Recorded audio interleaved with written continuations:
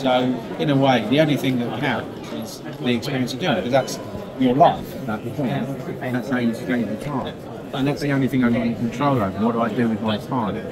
So I try and make it that I, I, I do films that I like with people that I like. So I'm gonna, even though it's hard work, I'm going to enjoy the process. So that, weirdly, the, uh, the, the two animated things I did, Tiger Came to Tea and Mog's Christmas, were so joyful to do. A, because they're only 25 minutes long, but B, the, the director and the editor and the producers were so lovely. And we were all sort of very happy about every, every aspect of it. Um, yeah, that was fantastic.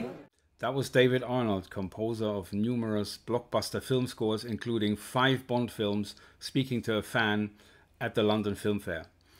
The clip was accidentally recorded while I was setting up. It was Arnold's explanation of how he picks his projects. And because he made such a good point about enjoying the experience, I wanted to leave it in despite its obvious technical shortcomings. I was there to get my Casino Royale double album sleeve signed by him and it turned out I was far from alone in my desire to get his autograph. In fact, a member of staff I spoke to said that the queue for Arnold was the longest they'd ever seen. But finally, the big moment arrived, and imagine my surprise when the first question came from him asking about the stabilizer I was using for my camera. Is that the TV Six. six? Yes. How are you getting on with it? I bought one the other day. I haven't got Bro- all the mode. I haven't worked out all the modes yet for the. Uh, No, and the problem is here, for example, it doesn't. It has an app that lets you Yes. control all the moves. Yeah. Unfortunately, it only works when there's an internet connection and the Wi-Fi here isn't strong enough, or, I've read or I haven't worked it out properly. Yeah, I think you can do it with the mode thing on the front.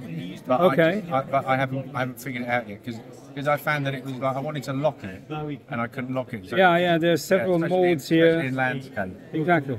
Let's do this. Hmm. Do you have a favorite amongst your own movies, compositions? I wouldn't say. I would say no as a total piece of work, but I like bits of all of them. Like I like Vesper from Casino Royale. Okay. I like Ha Long Bay from Tomorrow Never Dies. I like the song from The Tiger Who Came to Kill. I like the main theme for Amazing Grace and Wing Commander. Uh, so I, I like bits, but as most people will probably tell you, they will always find fault in what they've done. So I find that being critical of what I've done is something I do every moment when I'm writing anyway. Because you have to be critical and you have to put Sure. it apart. You have to decide whether or not this is good enough. Um, so I always, by the time I get there, it's like I hope no one else realizes how bad I think this is. And if I get away with it, then so much the better. Sometimes it's like you write something and you go like, yeah, no, actually that's okay. But it Is there- takes a few years to kind of get rid of the experience of having written. And of course, you evolve, and then you look back on stuff you did Yeah. earlier, and you think, Yeah. Why "Why did I would I do do that?" that differently? Yeah, yeah, exactly. that's. I guess that's part of the process. Um, any chance we're gonna get concerts, Another concert. Um, maybe even a tour? Well, we did a few gigs last year. Um, this time last year, where I was doing just songs from a film. Yeah. Uh, and that was great, but you realise that you're missing the entire soundtrack aspect of it. Just And when with the Amazon song. published the um, 60th anniversary Yeah, concert that we missed that organized, they cut out all the soundtracks and just had the Yeah. songs. So we're trying to get a kind of touring version of that together. Oh, that would be great. Um, I don't know quite how it's going to work yet, but we've been in discussion about doing it, where it's going to be songs and cues from the Bond movies. Because they're you know, I think people will like it. They like those songs and they like the music, and they'll they'll, they'll show up for it. Yeah, Um, absolutely. and, and, and I think EON are quite keen to do an official one. Because we had the screen yeah. built, you know, the gun barrel screen for the sixth year, Yeah. and all that amazing footage. So we've got access to all that material, which will make it special and different. Exactly. So I think we'd like that to happen, but a lot of the times we, you know, these things get talked about, and then Yeah. something else turns up, and it doesn't get talked about again. You go, no, you remember when we were going to do Mm. that? So you know, I'm hoping we can resurrect it because it was, you know, I think it'd be a good night out. And before I incur the ire of everyone else, What's next? What is David Um, Arnold working on now? Uh, I'm actually doing a, a, a Bond thing at the moment. Not allowed to say what it is. Cool. Uh, it's not the film. Uh, and um, the musical that I wrote called Made in Dagenham is getting revived. Uh, and I'm rewriting bits of that. Uh, and what else am I doing?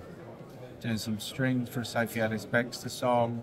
Uh, and I'm working on a completely unmusic related thing. Music for a very, very unmusical thing, which I think they're going to launch in November or December.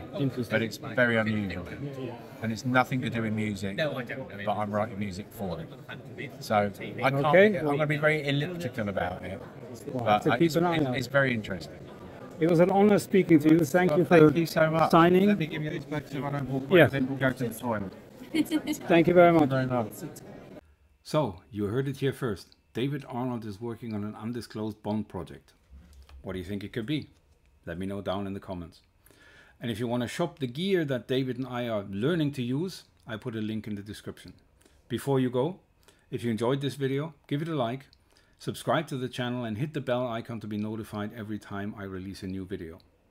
And if you're interested in the London Film Fair, you can watch my video from a previous visit right here. Take care.